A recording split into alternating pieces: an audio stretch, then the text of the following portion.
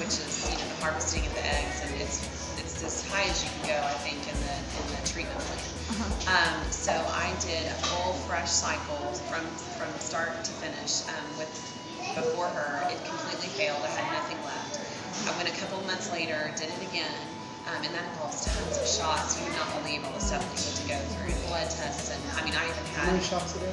Seven. I had at one point I had seven shots a day that he had to give me, and he was not a paramedic at the time um, but anyway, so then I had my um, transfer with her, and it was successful. And so then we froze the two that were left over, and you can cryogenically preserve them. Um, and then you can go back, and it's for a much less invasive procedure. And don't ask me how they do it because it's all very confusing, tricking your brain to not ovulating, that kind of stuff. So um, we went back and did that procedure, and they thaw out the tube. Um, and see, I put in two, and I got three. So just the natural process of just a splitting hmm. identical twin, that had nothing to do with any of this. So we were just bonus. you Wow. So, know? so when they implanted them, you were expecting at least two. No, well, no, we were expecting, hoping to get one. Oh. Because remember, we put four with my daughter and only got one baby. So our chances in these were the, when you have a fresh cycle, you put in the best that you got. So I even journaled, I'm sure this will end up in the book, but I even journaled that they called me with the, the report um, after I did the transfer to tell me how the other two were doing because they continue to let them grow in the lab. And they said one of them we would probably throw away, but since the other one's looking okay, we'll just go ahead and throw it in there. And he's back there. I don't know which one he is, but um, so you know, it's just weird to think of all that now.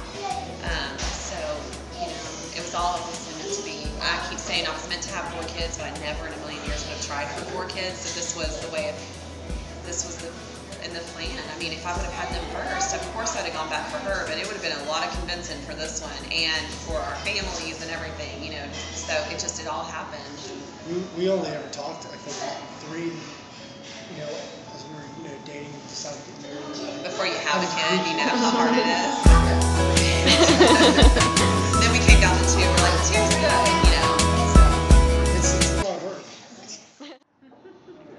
How long did it take you to get used to, to just get used to a routine and just the flow of things? We'll let you know. yeah, well, I kind of feel like um, when you have them, just as soon as you get into routine, it changes. Mm. Um, so definitely those early months were extremely chaotic because they weren't sleeping on a very good schedule and they didn't necessarily eat on a right schedule. We tried, and, and with multiples, you have got to be on some kind of schedule. So until you get on that, it's just complete chaos. And now I think it's kind of organized chaos. At best. Yeah. You're always sick. Always Oh. somebody's sick. Don't worry, you're not going to get sick. Yeah. I think I do think this. My wife, I'm very just kind of do whatever, go with the flow. and She's very organized and by the book and everything. That totally helps out with uh, our, our kids. They, they definitely, they definitely thrive on their schedule. That is one thing that I think you'll find um, if you watch the show is that everyone realizes that you've got to have some kind of schedule. Now, the higher order multiples you have, the more schedule it needs to be. Um, and that's just for survival. You got to do laundry sometime. oh. And then Be shocked at how many diapers you can go through. Just even with three. We used to do, when we first brought six. him home, it was 50, 50 diapers a day.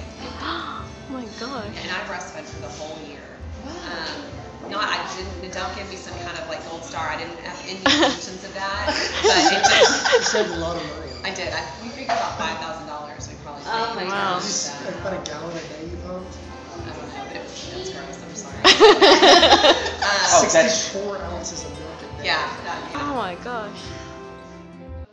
So tell us about the TV show. How did you get offered this opportunity?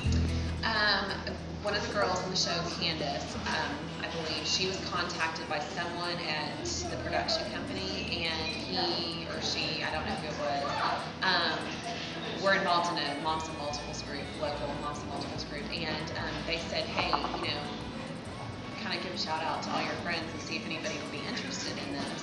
And she gave a whole bunch of names and um, asked us first, gave us gave them names, and they said, okay, here, you know, there's a casting process, and so we had to um, send in our an email with our names and ages and pictures and that kind of thing, and they did the whole casting process. I mean, they sent people from LA, um, to interview us with cameras um, in our house, and just a day, like followed us for about a half a day, and just saw, and then we heard back a couple months later. But this was about almost a two-year process from casting to filming.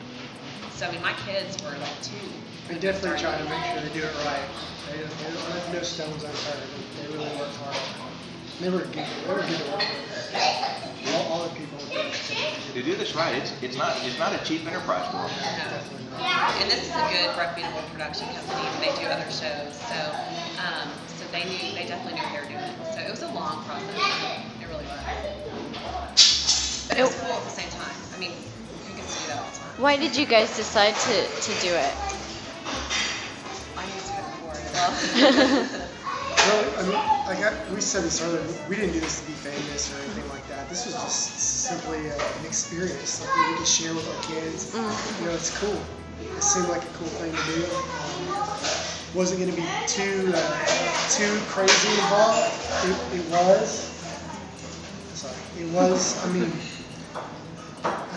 there, there's a lot of work. Mean, she obviously filmed about 20 to 30 hours a week. Uh, so there's definitely a process that that you have to go through, but it was fun. It was an experience that our kids are going to get to, you know, say that they did. You my daughter, our daughter's in school right now. A lot of her friends know about it at this point.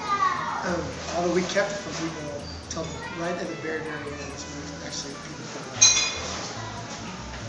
well, Just a fun experience to be able to share and being able to see, I mean, they're they're capturing footage that we could never in a million years get, you know. So I don't know how much of that we'll actually get, but I mean, we can DVR just like everybody else can. Um, you know, like I don't know that it'll be on there because they were so well behaved, but like their first dentist appointment, I mean, he walks around with cameras and it's great quality, you know. And um, and I said one thing I really hope that comes out of this is they act really bad for me all the time, and he doesn't understand because when he's there, they're not stellar by any means, but they they're just their behavior turns and they act a lot worse for me than they do for him. So my prayers are that people get to see a glimpse in what I deal with when he's gone. So that was part of it. Like I can feel like I, I told you. see? Trust, trust me, there's a different dynamic of, of, of kids, especially boys acting with their mother and act, oh yeah, especially since you guys are both believe in discipline. Yeah, I, I, yeah, I know from my personal life. I They- catch them when they think I'm gone. I'm not. I'll hear 'em. Well, it's all for them. It's not just the boys. I mean, and they, the boys run circles around me. I mean, I'll be honest. Um, and so I just really hope that they caught that. That is really, honestly, one of the first things I thought of is justification. you know, I mean, and not that he doesn't believe me. He just doesn't understand it until he sees it. I think he's gonna be like, "Are you kidding me?" So. So I need, so next week at the, at the premiere, we need to be watching y'all's faces, especially his face, as, as this goes along. Yeah, I don't know. I mean, I don't know.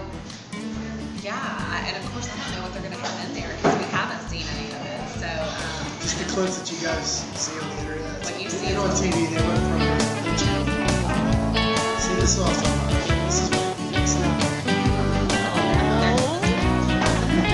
I told you there's no cameras. Y'all